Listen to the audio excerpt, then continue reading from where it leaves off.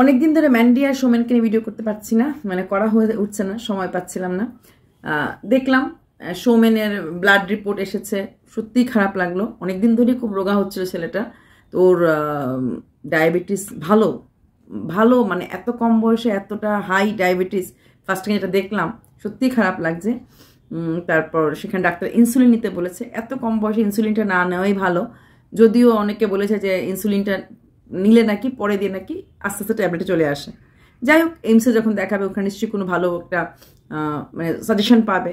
শুধু তো ডায়াবেটিস না, ওর তো ইউরিক অ্যাসিডও আছে, ওর কোলেস্টেরলও আছে হ্যাঁ? তারপর লিভার প্রবলেম তো আছেই। তাছাড়া ক্রিটেনান লেভেল মানে কিডনিও একটু এফেক্ট করেছে। ডায়াবেটিস যারা থাকে, ওদের মোটামুটি লিভার আর কিডনি আর চোখ, তিনটা জায়গাতে ডায়াবেটিস পেশেন্টদেরকে কিন্তু একটু এফেক্ট হয়। এটা আমরা শুনেছি। সেখানে দাঁড়িয়ে ওর অলরেডি দু জায়গাতে টাচ করে ফেলেছে। তো ওদের পরিবারের সবারই ডায়াবেটিস আছে। হ্যাঁ ওর বাবার আছে, আমরা জানি। ওদের মানে পরিবারের পারাম্পারা এটা ডায়াবেটিস মানে হেরিডিটারি ব্যাপার একটা আছে। আর ডায়াবেটিস, থাইরয়েড এগুলি সব কিছু মোটামুটি ফ্যামিলিতে থাকলে হয়। ভিটামিন ডিও কম। ভিটামিন ডিটা অ্যাকচুয়ালি আমাদের মোটামুটি সবারই কম থাকে, কারণ আমরা প্রচুর কাপড় চোপড় পরে থাকি, অতটা রোদে রোদে যাই না। ভিটামিন ডিটা আচ্ছা ইজিলি মানে আমরা নিজের বডিতে নিয়ে আসতে পারি। একটু সানলাইটে থাকলে হয়ে যায় কিছুক্ষণ। সেটা পাওয়া যায়। কিন্তু ডায়াবেটিসের ব্যাপারটা কন্ট্রোল করতে লাগে, কারণ আদারওয়াইজ ওরা যেভাবে ওদের লাইফস্টাইল যেভাবে মানে যে ধরনের ডায়াবেটিস কিন্তু লাইফস্টাইলকে রেগুলারাইজ করতে লাগবে। শুধু খাওয়া দাওয়া না, সবাই খালি বলবে কার্বোহাইড্রেট খাবে না, মাটির জিনিস জিনিস খাবে না, মাটির নিচে জিনিস, সেটা করলেও হবে না।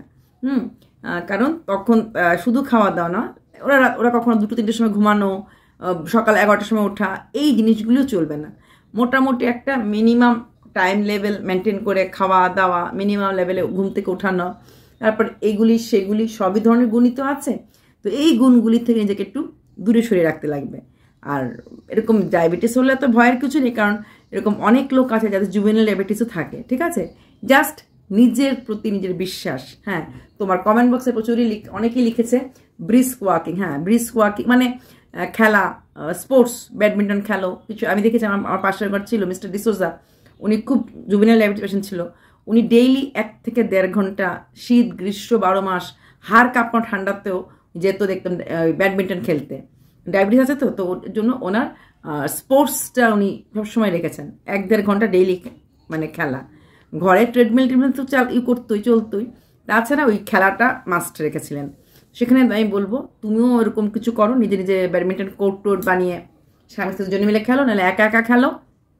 আর ওয়াক তো মাস্ট ঘুরতে গেছো এখন বলছো কি খাবে, না খাবে, খুব চিন্তা হচ্ছে। না, এত চিন্তা করার কিছু না, একটুখানি কন্ট্রোল করো, প্রথম দু তিন মাস, ধীরে ধীরে হয়তো নর্মাল হয়ে যাবে। অনেকেই বলেছে ধীরে ধীরে নর্মাল হয়ে যায়। একটু মেনটেন করলে কিছুদিন পরে নর্মাল হয়ে যায়। তো সেখানে দাঁড়িয়ে তোমাকেও নর্মাল করতে হবে। প্লাস লিভারে যখন তো প্রবলেম আছে, তো অত তোমাদের অত কথায় কথায় মাটন মাটন মাটন, এটা খাওয়া ভালো না। যেহেতু তোমাদের লিভারের প্রবলেম বেশি বেশি এইগুলি খাও। অতিরিক্ত মানে তৈলাক্ত মাছ, রিঠা মাছ প্রচণ্ড, মাটন প্রচণ্ড হ্যাঁ তো এই জিনিসগুলি একটু অ্যাভয়েড করো।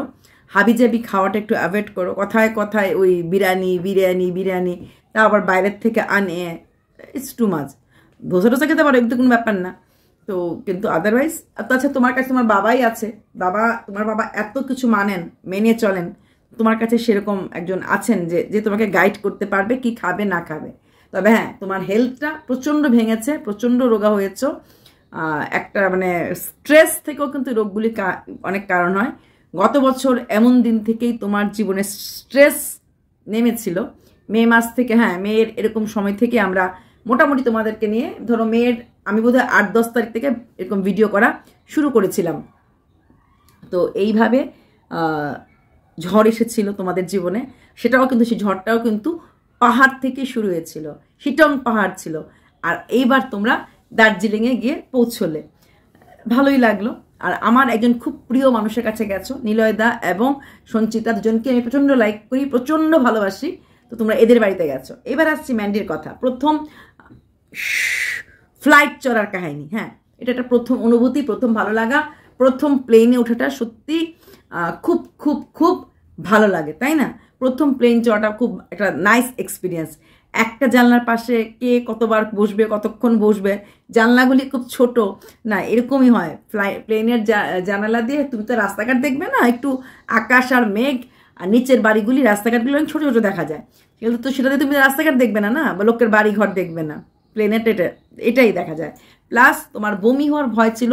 তুমি ঘর থেকে সবাই না করা সত্ত্বেও তুমি প্লাস্টিক নিয়ে এসেছ, নিজের অ্যারেঞ্জমেন্ট নিজে করে এসেছ। কিন্তু ফ্লাইটে বসে তুমি বেশ রিল্যাক্স ছিলে, যেখানে তোমার মেয়ে আর তোমার হাজব্যান্ড বলছিল নাকি হেভি সাউন্ড হেভি সাউন্ড ওটা কিছুক্ষণ সময়ের জন্য সবসময় সাউন্ড থাকে না। আরও দূর জায়গায় যাবে, দেখবে অনেকটা সময় ফ্লাইটে থাকবে, ভীষণ ভালো লাগবে। হ্যাঁ it's up to you how you are using your time বইটা যদি পড়তে ভালো লাগে যদিও অনেক ফ্লাইটে ম্যাগাজিন থাকে ম্যাগাজিন কতক্ষণ পড়বে জানি না, তবে বইটি পড়তে লাগলে, ভালো লাগলে যারা ভালোবাসে এরা পড়তে পারে। It's up to you relax হতে থাকলে রিল্যাক্সড ঘুমিয়ে থাকে। Up to you flight journey যাই হোক, তোমার প্রথম ফ্লাইট জার্নি প্রথম জীবনে একটা, প্রথম এক্সপিরিয়েন্স সবসময় সবার ভালো লাগে। নেক্সট টাইম থেকে যখন কোথাও যাওয়ার কথা ভাববে, ওই ট্রেনে ওই ইসেতে যাওয়ার দরকার নেই। তুমি অত টাকা ইনকাম করো, তুমি যদি বছরে একবারও ফ্লাইটে চড়ো, তিনজনে মিলে আপ ডাউনে এমন কোনো ব্যাপার না। তিনজনে মিলে আপ ডাউনে বছরে একবার ফ্লাইট কোনো ব্যাপার না। তোমাদের থেকে আমাদের সেরকম কিছু ইনকাম আমরা কিন্তু বছরে বহুবার ফ্লাইট চড়ি। বহুবার। একজন তো না, আমি যাচ্ছি, কখনো হাজব্যান্ড যাচ্ছে, কখনো বাচ্চারা যাচ্ছে, আসছে যাচ্ছে, আসছে, হতে থাকে। আমরা যদি ওইটা মানে ইউজ করতে পারি ফ্লাইট টিকিটের ভাড়া, তোমরাও পারবে। সব কিছু জমিয়ে রাখলে তো হয় না। একটু খরচ করতে সব কিছু শুধু ওই নাইটি আর শাড়ি আর ড্রেসে না। নাইটি আর শাড়ি ছাড়াও ইউজ করার মতো জিনিস আছে। এরকম জিনিসগুলো, এই যে বাচ্চারা তোমার শিখলো। এখন বল, বলবে বন্ধুর কাছে গিয়ে এয়ারপোর্ট ফ্লাইট এইগুলি একটা অভিজ্ঞতা। তোমরা এত বয়স একত্রিশ বছরকে ফ্লাইট চড়েছ, তোমার মেয়েটা ছ বছরে ফ্লাইট চড়ে। আর এই যুগের বাচ্চারা ছ মাসেও ফ্লাইট চড়ে। তো বছরে একবার এরকম ফ্লাইট ট্রেন এরকম সব কিছু চড়িয়ে চড়িয়ে বাচ্চাটাকে অভিজ্ঞ করবে। বাচ্চাটাকে শেখাবে, কি করে টিকিট নেয়, কি করে চেকিং করতে লাগে, কি করে যেতে লাগে কোথাও লাগেজ বডি চেকিং এগুলি ধীরে ধীরে দু তিনবার গেলেই দেখবে একদম চুস্ত জুস্ত হয়ে যাবে। আর দরকার, রোজগার করছ কেন? আরাম করার জন্যই তো এক্সপিরিয়েন্স করার জন্যই তো এক্সপ্লোর করার জন্যই তো। তাহলে সেটা খরচ করতে শেখো। যা পেলে সবই পোস্ট অফিসে মিউচুয়াল ফান্ডে মিউচুয়াল ফান্ডে না। একটু ঘোরাফেরা, বেড়ানোর দরকার আছে। আর এবার দার্জিলিং দার্জিলিং আর এই তোমার কি বলে ওইসব জায়গা তো আগেও গেছো। এছাড়াও যে, এই বেল্টের বাইরেও যে, দিল্লি বলো সিমলা কুলু মানালি বলো, তোমার ননদ ননদের বর্গে এসেছিল, আন্দামান। হুম, তো ওই রকম ওইসব জায়গাতে আন্দামানে প্রচুর ফ্লাইট ফেয়ার এটা খেয়াল রাখবে। তুমি অত ফ্লাইট ফেয়ার দেবে বলে আমার মনে হয় না। বাট এছাড়া আন্দামান ছাড়াও অনেক জায়গা আছে যেখানে প্লাস তোমার তো অনেক সাবস্ক্রাইবারও থাকে। তুমি চাইলেই কোনো সাবস্ক্রাইবার থেকে উঠতে পারবে, শুধু ফ্লাইট ফেয়ারটাই তো লাগবে। খাবার দাবার তো ওই সাবস্ক্রাইবারের বাড়িতেই হয়ে যাবে, তাই না? তোমার চা নেওয়ালা তো কম নেই ম্যান্ডি অনেক চা নেওয়ালা আছে। আমিও আছি। যদি আমি আমার বাড়িতে আনব না, আনলে সবাই বলবে, এই তো ভিউজের নিয়ে এসেছে। হ্যাঁ কোথাও বাইরে আসলে দেখা করতে যেতে পারি। তো ম্যান্ডি গিয়ে উঠল আমার প্রিয় প্রিয় ব্লগারের বাড়িতে নীলদ্দা সঞ্চিতের বাড়িতে। ওখানে যাওয়ার পর অ্যাজ ইউজুয়াল ম্যান্ডি সবার সাথে মিশে গেছে। পারেও ম্যান্ডি সবসময় মিশতে। আমি ম্যান্ডি যখন প্রথম বাজার করছি, আমি বলেছিলাম নীলদার সঙ্গে নীলদার বাবা মাও থাকে, ওদের শপিংটা কোথায়? দেখলাম না, ওদের জন্য কিনেছে, ওদেরকেও দিয়েছে। আর খুব সুন্দরভাবে খুব তাড়াতাড়ি ওদের সাথে মিশে গেছে। ম্যান্ডি তো খুব মিশুকে। খাওয়া দাওয়া সব কিছু তারপরে কালকের থেকে বলছে আরও অনেক ভালো ভালো সুন্দর সুন্দর ব্লগিং আসবে। অবশ্যই আসবে। জানা কথা। পাহাড়ে ঘুরতে গেছে দার্জিলিং, কাঞ্চনজঙ্ঘা। দার্জিলিং মানে অনেক সুন্দর জায়গা। আর ওরা ভীষণ অতিথি বৎসল। আমি নীলদাদের বাড়িতে প্রচুর লোককে দেখেছি যারা কিনা যায় এবং অনেক দিন থাকে। তোমার ফুল প্রাপ্তি নীল আকাশ তো বহু দিনই ছিল, অনেকটা দিন ছিল। তো সেখানে বলব, তোমরা তো আচ্ছা বেশি দিন থাকবে না সাত দিন, পাঁচ দিন গেছো, আর একটু সোমেন একটু ডিপ্রেসডে চলে গেছে, ওর অসুখ দেখে এতটা অসুখ পেয়েছে। সোমেন এতে ভয় পাওয়ার কিচ্ছু না। এই ভয় পাওয়ার কিছু না, খালি শিডিউলে চলবে হ্যাঁ তুমি জানো ভাই, তোমাকে এক সময় খুব বকাবকি করেছি, কিন্তু তারপর থেকে যখন তুমি ম্যান্ডির পাশে দাঁড়িয়েছো, স্বামী হিসাবে ম্যান্ডিকে রক্ষা করেছ, মাথার ছাদ সেদিন থেকে কিন্তু তোমাকে আমি ভাই বলে ডেকেছি। তুমি পাশে আছো বলে আজকে ম্যান্ডি এত সুরক্ষিত। আজকে ম্যান্ডিকে নিয়ে কেউ খারাপ কথা বলতে পারে না। কারণ ম্যান্ডি এখনও তার স্বামীর ঘরে আছে। ম্যান্ডিকে কেউ আর নোংরা কথা বলে না। সেখানে দাঁড়িয়ে আমি বলব, তুমি শুধুমাত্র খাওয়া দাওয়ার ব্যাপারগুলি নিয়ে চিন্তা ভাবনা করবে, ঠিক আছে? ওই একটু ভাতটা মেপে খাবে। তোমাদের পয়সার অভাব নাই। ব্রাউন রাইস খেতেই পারো। ব্রাউন রাইস খাও, রুটি খাও, রুটি তিনটে খেলে কিছু হবে না। যেটা ম্যান্ডি বল তিনটে রুটি খাব না না। তোমার আবার কিন্তু গ্যাস্ট্রাইটিসের ব্যাপার আছে, তোমার একটা আলসারের ব্যাপার আছে, তার জন্য তোমাকে কিন্তু খেতে লাগবে।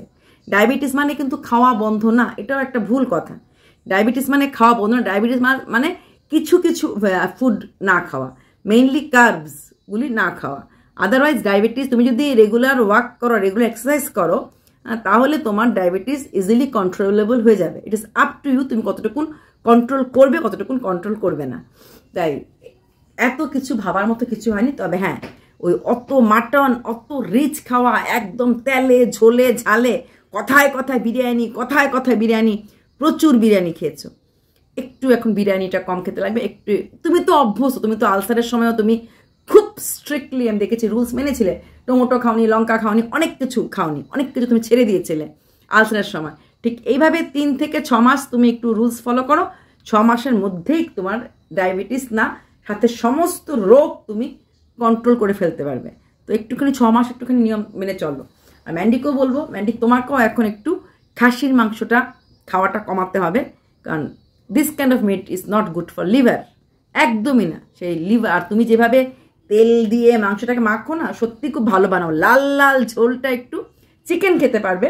চিকেন ডায়াবেটিসের কোনো ব্যাপার না, কিন্তু খাসিটা ইজ নট গুড ফর কারণ কোলেস্টেরল আছে।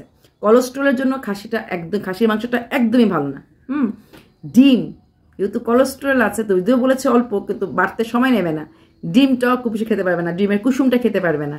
ডাক্তার তো ডায়েট চার্ট দিয়েই দেবে, কিন্তু ওইসব ডায়েট চার্জ তিন থেকে ছ মাস, তারপর থেকে কিন্তু নর্মাল লেভে চলে আসতে পারবে। এখন তুমি ভেবে থাকো যে আমি কিচ্ছু খাব না, কিচ্ছু খাব না, কিচ্ছু খাব না, তাহলে কিন্তু ভেতর থেকে তুমি অনেকটাই দুর্বল হয়ে যাবে। সেটা তুমি করবে না। তাই খাওয়া দাওয়া এক্সারসাইজ সব ঠিক রাখবে। অবশ্যই কার্পটাকে একটু দূরে রাখবে। তোমার বাবা দেখো এই বয়সও তুমিই বলেছ, বাইক চালিয়ে কত দূরে গ্রামে যায় পুজো করতে। উনি করছেন তো না? ওনার এত অসুস্থতার মধ্যে উনি এত কিছু কাজ করছেন। সেখানে দাঁড়িয়ে তুমিও কাজ করতে পারবে, তুমিও পুজো চলতে পারবে। খালি নিয়মগুলি মেনে চলতে লাগবে। আর ফেরার পথে ট্রেনের তোমরা আসছো, ফেরার মানে ট্রেন না, বাস বোধ হয় হ্যাঁ বাস বলেছিলে। তো বাসে না আসে তোমরা কিন্তু ইসেতে আসলে পারতে। ফ্লাইটে আসতে পারতে। বারবার তো ফ্লাইট চড়ছো না ফ্লাইটে আসতে পারতে। তাহলে আরেকটু আরাম পেতে রিল্যাক্সড হতে। আর সোমেন স্ট্রেস ফ্রি স্ট্রেস রিলিজ ডায়াবেটিসের কিন্তু, রোগীদের কিন্তু সবসময় ডাক্তার বলে স্ট্রেস ফ্রি থাকা। তোমার বাবা কিন্তু ডায়াবেটিক পেশেন্ট নো ডাউট কিন্তু উনি কিন্তু স্ট্রেসড হন না। মানে স্ট্রেস থাকে না, বোঝা যায়। ওনার একটা স্মুথ লাইফ আছে। ঠাকুর পুজো টুজো নিষ্ঠানে করে। উনি কিন্তু স্ট্রেসড থাকে না। তোমাকেও বলব তুমিও স্ট্রেসড লাইফে থাকবে না। চলো বাই